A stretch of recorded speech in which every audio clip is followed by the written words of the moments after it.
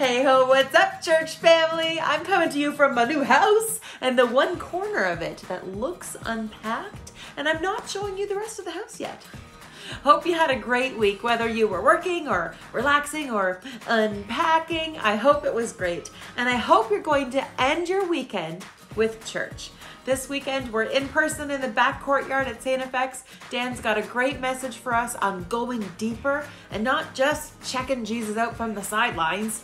James and the worship team have got some of my favorite songs for us to worship to. You'll meet with your church community, get connected, and be together. That's what it's all about.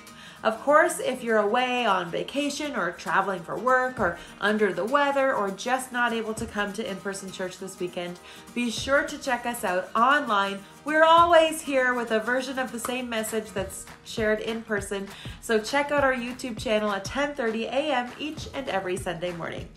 Quick heads up, not this Sunday, but next Sunday, the 21st of August, church family barbecue after service. Mark your calendar. Have a great rest of the weekend, y'all. You want to know what I'm going to spend my weekend doing?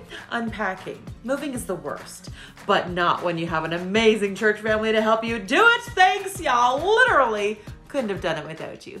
Have a good one, guys. See you tomorrow for church.